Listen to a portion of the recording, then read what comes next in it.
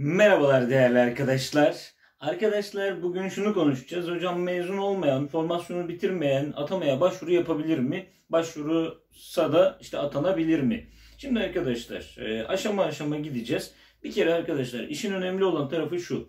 Ön başvuru noktası. Ön başvuruda bu belgelerin hepsinin fotoğrafı isteniyor. Dolayısıyla ön başvuru esnasında bu belgeleriniz yoksa sisteme ne yükleyeceksiniz? Değil mi? Yani dolayısıyla e, ön başvuru esnasında birincisi diplomanız kesinlikle olması lazım veya diploma yerine mezuniyet belgesi de olur tabii ki veya e-Devlet'ten alınacak olan mezuniyet belgesi de gene kabuldür arkadaşlar ön başvuruda. Yani kesinlikle mezun durumda olmalısınız. Buna dair diploma, mezuniyet belgesi veya e-Devlet'ten alacağınız mezuniyet belgesi kabuldür arkadaşlar. Bunlar olmadan yani e, bitirmeden başvuru yapamazsınız. Öğrenciyken yani hocam işte soru soran arkadaşlarımız oluyor. Hocam işte biz e, son sınıftayız, biz üçüncü sınıftayız. Başvuru yapabilir miyiz? Başvurursak atanabilir miyiz diye. Yani arkadaşlar şu an sen son sınıftasın ve geçen seneden mesela işte puanın var diyelim. Puanın olsa da maalesef e, mezuniyet belgen olmadığı için atamaya başvuru yapamıyorsun. Sisteme yükleyemiyorsun çünkü. Sistem istiyor senden diplomayı ya da işte mezuniyet belgesini. E, sen o mezuniyet belgesini sisteme yükleyemediğin için e, ön başvurunu yapamamış oluyorsun. Dolayısıyla mezun değilseniz başvuru yapamazsınız arkadaşlar.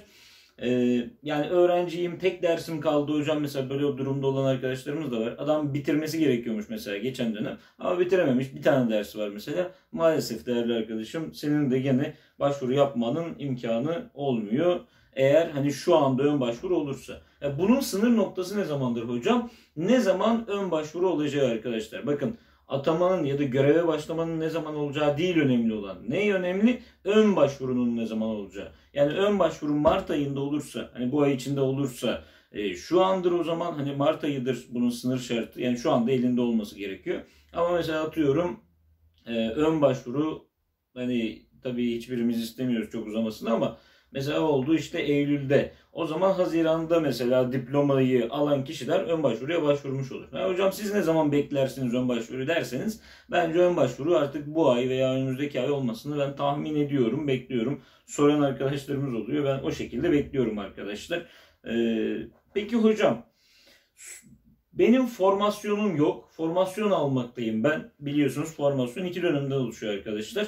Ee, ve mesela işte yarı dönemde başlamış, yarı döneme yakın başlamış arkadaşımız daha devam ediyor formasyon. Veya başta başlamış hala bitmedi zaten formasyon. Dolayısıyla elinde formasyon belgesi yok ama devam ediyor. Bu arkadaşlarımız başvurabilir mi? Şimdi arkadaşlar bakın formasyonsuz başvuru yapılabilir. Ama ama ama bu durumda ikinci öncelikli oluyorsunuz. Yani atanmanız imkansız değil teorikte ama pratikte imkansıza yakın diyebilirim. Yani formasyonunuz da olması lazım. E, diplomanız da olması lazım arkadaşlar. Yani ikinci öncelikli ne demek hocam? Yani şu demek öncelikle formasyonu olanlar veya eğitim fakültesi mezunları e, atanır. Arkasından formasyonu olmayanlara sıra gelmiş olur. Peki hocam e, ön lisans mesela ilahiyat var. Ön lisans işte çocuk gelişimi var. Bunlar atama için kullanılabilir mi diye soran arkadaşlarımız da oldu. Arkadaşlar öğretmen olarak atanmak için e, lisanstan başkası, lisanstan gayrısı yalan diyesim geldi. Yani ön lisans, işte yüksek lisans, doktora bunlar kabul değil. Bunlar öğretmenlik hakkı vermez. Kim verir? Sadece ve sadece ilgili lisans bölümünü bitirmeniz size öğretmenlik hakkını tanır. Ve de tabii ki ek olarak ne olması lazım? Formasyon olması gerekiyor ki e, siz de aynı öncelik durumunda olmuş olun. Hocam peki açık öğretim bitirdim ben. Bu açık öğretimi bitirirsem veya işte hani açık öğretimden bir bölüm okumak istiyorum. Ee, öğretmenim normalde hali hazırda veya işte açık öğretim bitirip arkasından formasyon almak istiyorum. Bir hak kaybım olur mu? Ben de öğretmen olabilir miyim? Olabilirsin değerli arkadaşım. Açık öğretim fakültesinden de 4 yıllık bir lisans bitirdiğin zaman mesela atıyorum işletme bitirdin ve formasyon aldın. Bu durumda muhasebe öğretmenliği hakkın var mesela. Dolayısıyla arkadaşım açık öğretim fakültesi bitirmenin sana herhangi bir zararı yok bu anlamda. E, açık öğretimde aynı hakları bize sağlamış olur. Yani işte öğretmenseniz hali hazırda alan değişikliği yapma hakkını da verir. İşte veya açık öğretimi bitirip arkasından formasyon da alabilirsiniz. Hani bunlarda herhangi bir şey yok. Yani biz de zaten hani mezun olduk. Mezun olduktan bir sene sonra e, atama şeyimiz oldu. Ha, tabii ki ben eğitim fakültesi mezunu olduğum için formasyonla vesaire herhangi bir işim yoktu. Ee, ama hani dediğim gibi 3'te de girsen hani sınava, 4'te de girsen sınava e, mezun olmadan atama hakkınız olmuyor arkadaşlar. Hani hocam ben öğrenciyken sınava girebilir miyim peki? Öğrenciyken sınava girebilirsiniz arkadaşlar. Öğrenciyken sınava girmenizde bir engel yok. Hatta hani daha erken yıllarda bile deneme amaçlı girebilirsiniz. Tabii sınavın da belli bir ücreti var biliyorsunuz. Ee, ama dediğim gibi hani bu puanların size çok fazla bir şey olmayacaktır. Ha tabii bu e, şey gibi karma atama gibi bir atama hakkı sağlanırsa yani şu anda arkadaşlar puanlar bir yıl geçerli.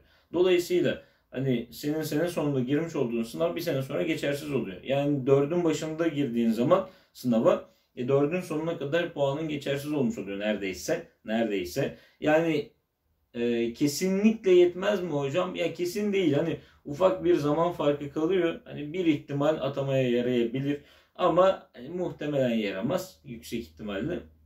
E, dolayısıyla öğrenciyken girdiğiniz sınavlar muhtemelen deneme amaçlı olur. Ama küçük bir ihtimal tabii ki e, bir atama hakkı sağlayabilir ilerleyen süreçte. E, ama dediğim gibi mezun olmanız şarttır şu anda e, atamaya başvuru yapabilmek için. Başka hocam tek formasyon yeterli mi? Şimdi arkadaşlar siz birden fazla lisans mezunu olabilirsiniz. Mesela sen aynı anda çap yaptın. Kimya okurken aynı anda matematik okudun mesela. Vardı benim böyle bir arkadaşım. Veya işte edebiyat okurken bir de felsefe okudun. Veya işte ne bileyim hani aklınıza gelen iki bölüm mesela. Herhangi iki bölüm bitirdin. Her ikisinde de tek formasyonu alman yeterlidir arkadaşım. Mesela e, felsefe okudun ve felsefe formasyonu aldın. E, bunu işte tarih bölümü de bitirdiysen tarihte de kullanma hakkınız var arkadaşlar. Bu yönetmelikte de yazıyor, kılavuzda da yazıyor, her tarafta yazıyor. Bu konuda müşteri olsun içiniz. E, bazı arkadaşlarımız işte şunu hani birine sordum işte kullanamazsın dedi tekrardan alman gerekiyor dedi falan tarzında şeyler söylüyor. E, aklınızda bulunsun. Tek formasyon bütün alanlar için geçerlidir değerli arkadaşlar. Bu anlamda herhangi bir engel e, yoktur. Yani ikinci bir bölüm okursanız aynı formasyonu gene e, kullanabilirsiniz.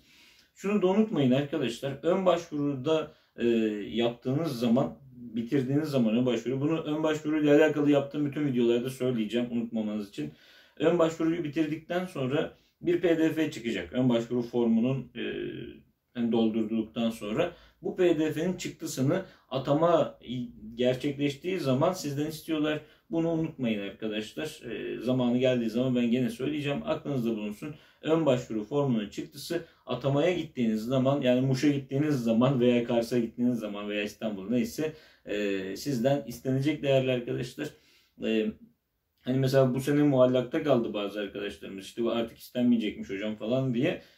Gene gittikleri zaman hani bizim dediğimizi gördüler. E, ön başvuru formunun çıktısı gene istendi de arkadaşlar. Yani sonradan uğraşmamak için e, bunları mutlaka halletmekte fayda var. E, yani arkadaşlar dediğim gibi hani bir an önce işte hani okulu halledip mezuniyet belgesini alıp formasyon belgesini de alırsanız inşallah atama hakkınıza sahip oluyorsunuz. Ee, dediğim gibi bunların e,